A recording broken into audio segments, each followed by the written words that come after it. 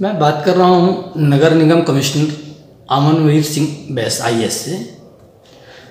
आपके रहते काफ़ी कुछ बदलाव देखने को मिला है। स्मार्ट सिटी की दिशा में बहुत सारे काम ऐसे हुए हैं जो नज़र आने।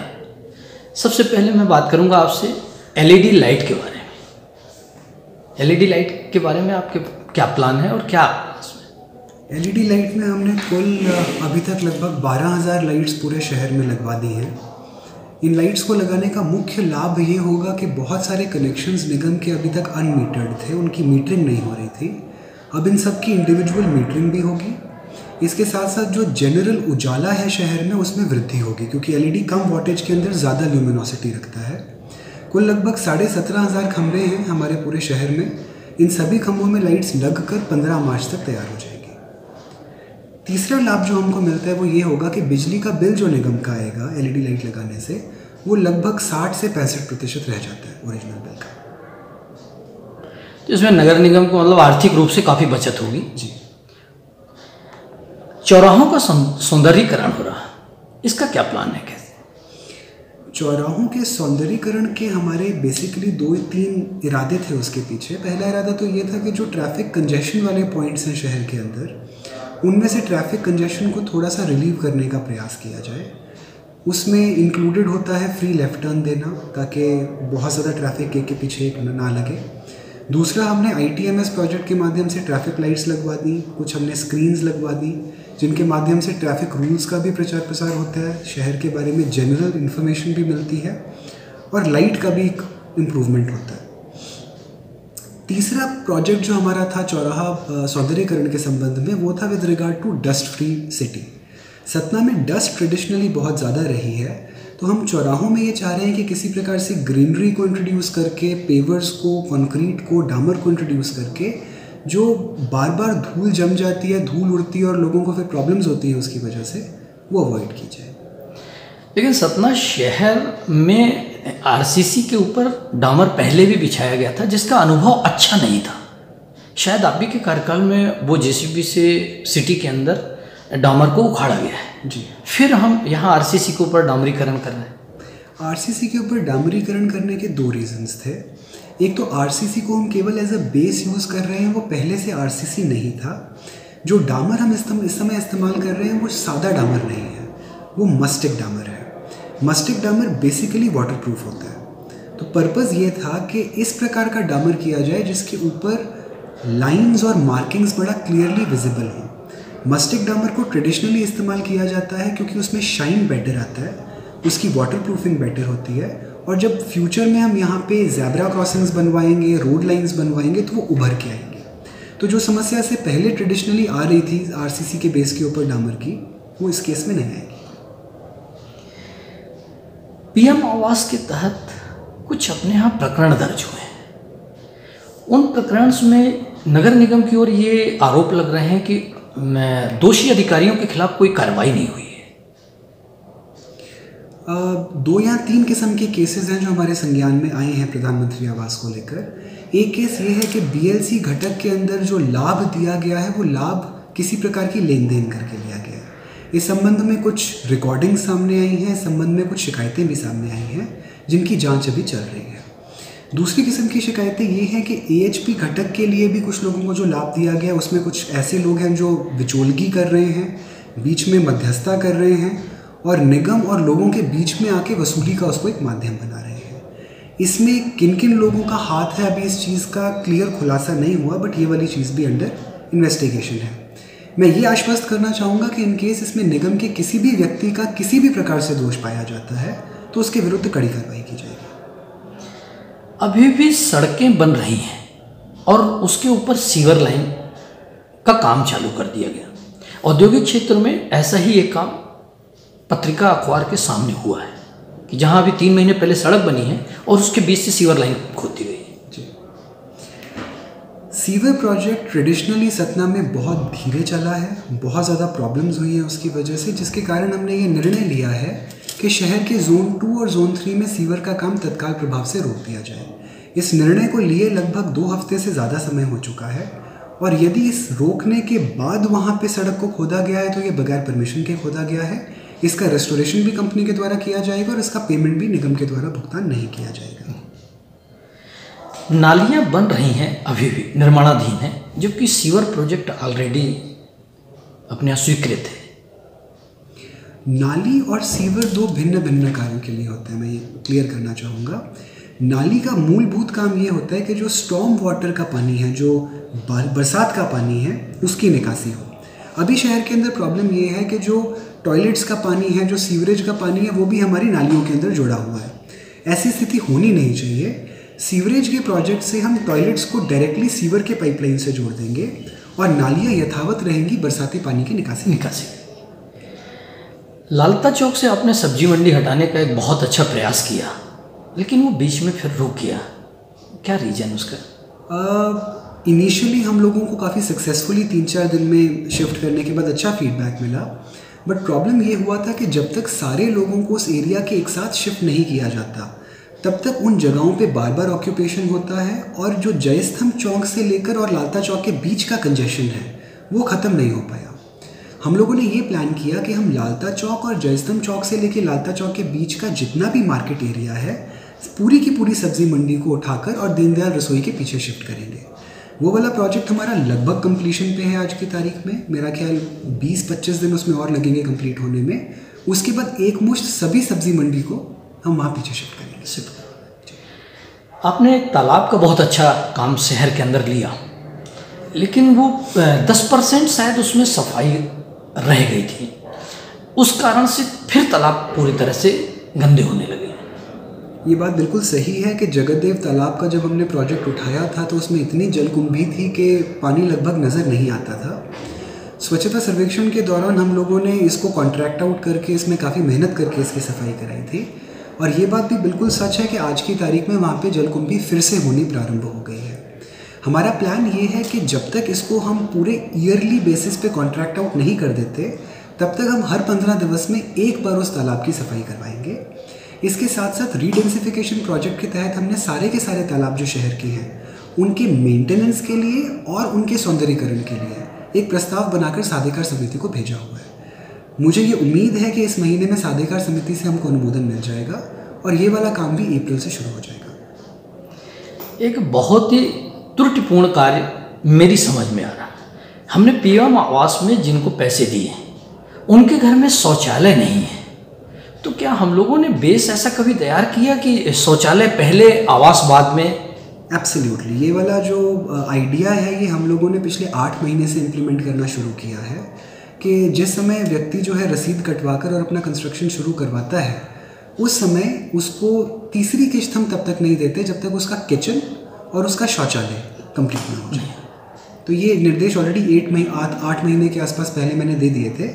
तो पिछले आठ महीने से इसका पालन हम लोग करवा रहे हैं। करवा जलावर्धन में पानी की जो अपन ने पब्लिक को शहरवासियों को बोला था कि पानी पर्याप्त मिलेगा उस हिसाब से पानी नहीं मिल रहा। उसमें मुझे जो कमी समझ में आ रही है कि अपने यहाँ दो नए एनिकेट बनने थे। वो इस प्रोजेक्ट से दो एनिकेट माइनस कर दिए गए शायद एक एनिकेट के लिए आपने अभी प्रयास शुरू किया है। जी। तो उस पर क्या? एक एनिकेट हम लोग बनवा रहे हैं उसमें डब्ल्यू डिपार्टमेंट और निगम के माध्यम से ज्वाइंट सर्वे की कार्रवाई अभी चल रही है।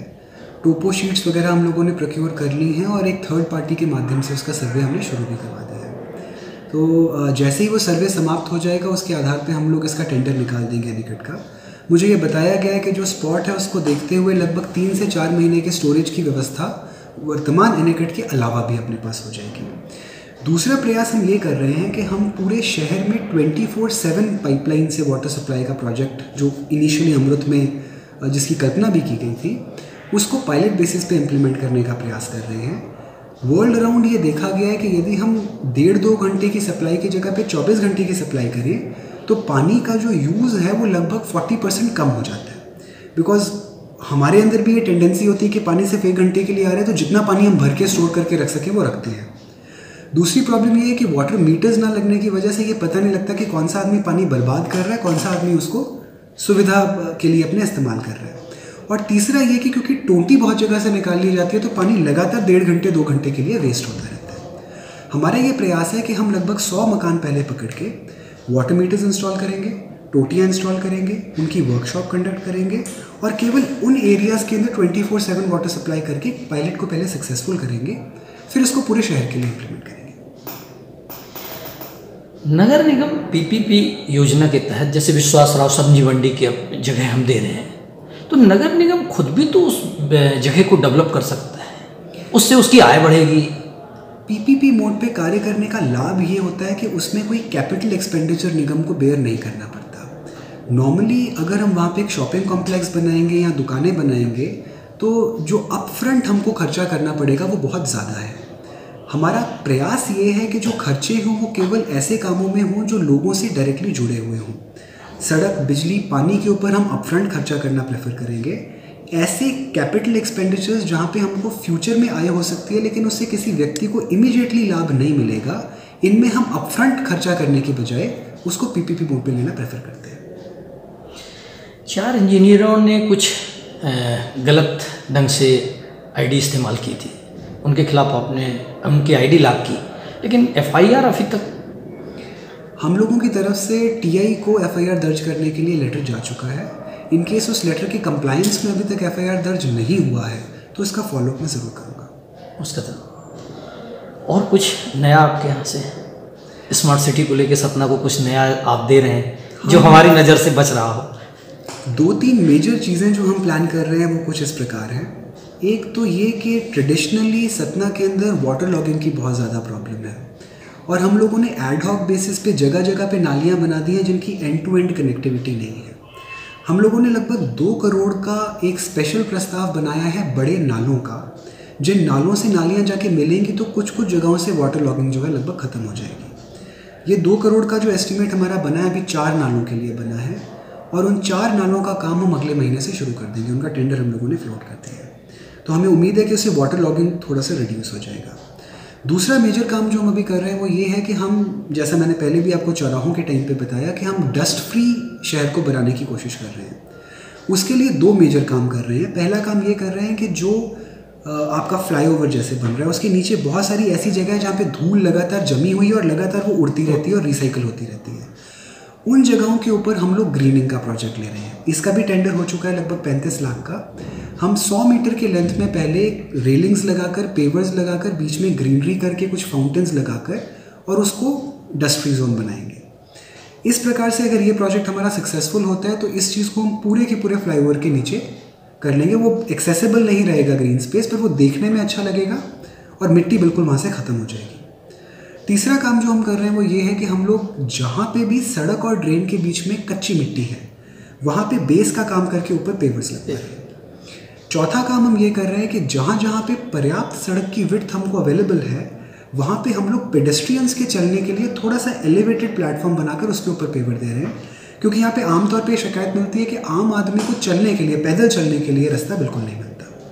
तो ये डस्ट्री वाला इनिशिएटिव भी है और थोड़ा सा शहर को पेडेस्ट्रियन फ्रेंडली बनाने का भी प्रयास है। एक चर्चा मैंने पहले भी आपसे की थी कि शहर में यातायात बढ़ रहा है। फुट ओवर ब्रिज की दो तीन जगह काफ़ी आवश्यकता है। जी। एक विट्स कॉलेज के पास एक उतैली के पास एक अपना सर्किट हाउस या भरत नगर के बीच में कहीं। जी। तो ये दो तीन जगह फुट ओवर ब्रिज। इसके लिए हम लोगों ने ये प्लान किया है कि एक इस शहर में अभी तक कोई एक वर्ड यूज़ होता है C M P C M P का मतलब होता है कॉम्प्रीहेंसिव मोबिलिटी प्लान किसी भी शहर के मास्टर प्लान के साथ एक मोबिलिटी प्लान बनना बहुत ज़रूरी होता है, जिसमें हम ये बोलें कि आपकी सीमा क्षेत्र के अंदर लगभग इतने ऑटो हैं, लगभग इतनी बसें हैं, लगभग इतना सूत्र सेवा की बसेज या सर्विसेज़ हैं, लगभग इतनी प्राइवेट गाड़ियाँ हैं, इतनी साइकिल्स हैं। और फिर हम ये कोशिश करते हैं कि मोबिलिटी को इस तरीके से प्लान करें कि जहाँ पे एक संसाधन ख़त्म होता है, वहाँ से दूसरा संसाधन शुरू हो जाए। तो इसके अंदर प्लान ये होता है कि हम बसेस के लिए बस स्टॉप बनाए बस स्टॉप बनाने के बाद वहाँ से ऑटो मिल जाए ऑटो से वो आपके घर तक आपको छोड़ दे। इसी तहत हम लोग ये भी प्लान कर रहे हैं कि जहाँ जहाँ पे ऑटो से कनेक्टिविटी नहीं है या सड़क की क्रॉसिंग नहीं है या कंजेशन पॉइंट्स हैं वहाँ वहाँ पे हम फुट ओवर ब्रिजेस देंगे। उसके दो लाभ होते हैं तो उसकी ग्रीनिंग करके उसको खूबसूरत भी बनाया जा सकता है और दूसरा जो ट्रैफ़िक रिलेटेड एक्सीडेंट्स होते हैं जो क्रॉसिंग के टाइम पे होते हैं वो भी लगभग ख़त्म होने की स्थिति में आ जाते हैं। तो दो, तीन जगह पे नहीं, दो जगह पे हम लोगों ने इसको प्लान करके रखा हुआ है। एक बार हमारा सी बन जाता है तो इन दोनों कॉन्सेप्ट को हम जेल कर लेंगे, उसके बाद इस पर काम शुरू करेंगे। मेरा एक सुझाव था आपसे कि लिंक रोड सपना में कई जगह हैं। अगर हम ट्रैफ़िक को डाइवर्ट करें लिंक रोड की ओर तो उससे भी ट्रैफ़िक पे बहुत ज़्यादा फ़र्क पड़ेगा। जैसे रिवर रोड नेशनल हाईवे है, इस पर ट्रैफ़िक बहुत ज़्यादा वेंकट वन से लेके ये आयुष्मान हॉस्पिटल होते हुए ये जीवन ज्योति से बस स्टैंड तक सीधा एक रास्ता सिमरिया चौराहा निकलता है। अगर इस लिंक रोड को हम चौड़ा करके और इसको सुविधाजनक बना दें तो यहाँ से ट्रैफ़िक काफ़ी डाइवर्ट हो जाएगा, रिवर रोड का। ऐसे ही हम इधर से झंकार टाकीज से ये होते हुए, ये अंदर से देते हैं भरत नगर से सीधे बिरला रोड। तो एक ये लिंक रोड ये भी डेवलप हो सकती है। स्टेशन रोड के लिए मैंने पहले भी आपसे एक चर्चा की थी। कि जहाँ अवैध सब्ज़ी मंडी या फुटपाथ के दुकान वालों ने कब्जा कर रखा है, उसको भी हम लिंक रोड अगर डेवलप करें, पीछे रेलवे स्टेशन की रोड को हम डेवलप कर दें, रात में रोशनी दे दें तो मतलब ये तीन चार सड़कें ऐसी हैं। एब्सोल्युटली मैं बिल्कुल आपसे सहमत हूँ। इसमें स्टेशन रोड और रेलवे स्टेशन की रोड पे ऑलरेडी हमारा काम प्लान है। उसमें जो कलवर्ट है हमारा कोतवाली के आगे, उस कलवर्ट को भी चौड़ा करेंगे, उसको सीधा करके मिला देंगे तो बाईपास के तरीके से वो काम करेगा नो डाउट स्टेशन रोड के अंदर भी दुकानों को पीछे शिफ्ट करने का प्रस्ताव है। एक हमारा इंदिरा मार्केट और एक और मार्केट पालका बाज़ार। पालका बाज़ार है। वहाँ पे भी शिफ्टिंग करने का प्लान हमारा बना हुआ है। उसमें थोड़ा सा रेवेन्यू डिपार्टमेंट के साथ हमारा टू एंड फ्रो चल रहा है कुछ समय से।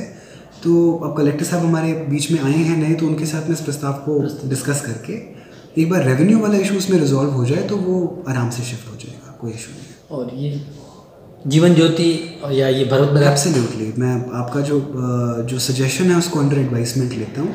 एक बार मैं विज़िट करके देख लेता हूँ यदि उसको भी डेवलप किया जा सकता है। डिपेंडिंग ऑन वो किसकी सड़क है बीच बीच में कुछ पीडब्ल्यू की सड़क हो सकती है कुछ नगर की हो सकती है। पूरी नगर निगम। फिर तो पूरा पूरा प्रोजेक्ट हम अंडरटेक कर सकते हैं उसमें कोई प्रॉब्लम नहीं है। अभी टैक्स को लेके कुछ विवाद हुए हैं। एक बंदे से विवाद हुआ है जिसमें वो जबलपुर रेफर किया गया है। मुझे कल पता चला कि उसे पैरालिसिस हो गया उसके ब्रेन पे काफ़ी चोटें आई हैं। ये विवाद की स्थितियाँ क्यों? ये आ, कितनी गंभीर चोट है और उसको रेफ़र किया गया है मेरी जानकारी में नहीं है। मेरी जानकारी में ये है कि तालाबंदी की एक कार्रवाई के दौरान निश्चित रूप से एक, एक कोई व्यक्ति है जिनको चोट आई थी और इस संबंध में मेरा ख्याल थाने में कंप्लेंट भी की गई है। दोनों ही पार्टीज़ की तरफ़ से एफ़ आई आर हुई है मेरी जानकारी में। तो एक बार इसका अन्वेषण हो जाए एक बार पता लग जाए कौन इसमें गिल्टी है। अगर हमारे एंड से कोई कार्रवाई करनी होगी तो ज़रूर करेंगे। चलिए धन्यवाद। बहुत सारी अच्छी बातें हुई आज थैंक यू